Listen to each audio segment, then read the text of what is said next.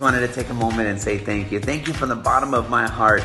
It meant so much to me to see everybody come together and have an amazing dream car and toy drive.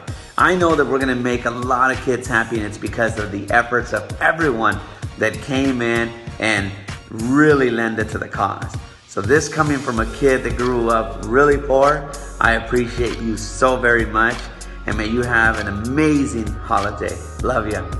Enjoy the video.